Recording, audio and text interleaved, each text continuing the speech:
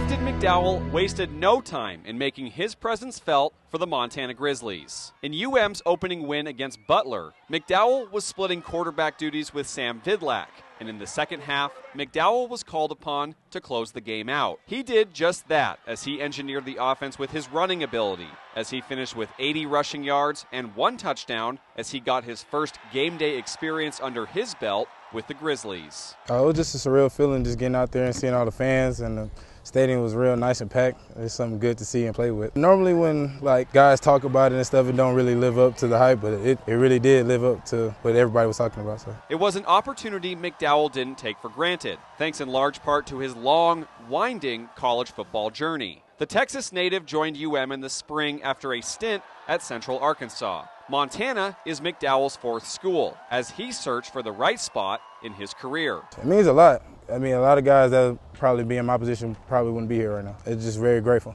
McDowell began his career at the University of Louisiana Lafayette in the FBS. But tragedy struck when DJ Looney, an assistant coach who helped recruit McDowell to Lafayette, passed away during a team practice that McDowell was at. And the mental trauma from that unforeseen passing was palpable for McDowell. It was a very catastrophic event. I say that. I mean, seeing somebody pass away in person at practice, was, it took a toll on me, but I was able to bounce back from that. Yeah, it was a little rough at first, trying to keep going and just trying to keep my head on, but it, it did fuel the fire a little bit. McDowell needed a change soon after, and he went to junior college back in Texas for a year before heading to Central Arkansas. He then grad transferred to Montana and quickly found a home with the Grizzlies. Guided deeply by his faith, that has allowed McDowell to stay grounded through the ups and downs. God, steady having faith, faith over fear. Ever since I was little, going to church every day with my grandma on Sundays. All of that has led him to the mountains of Missoula, and in his first major minutes,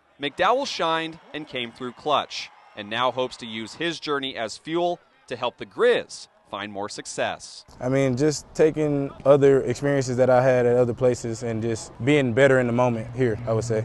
Staying level headed, just got to keep going, keep fighting, keep working. The work gonna show. Reporting in Missoula, Kyle Hansen, MTN Sports.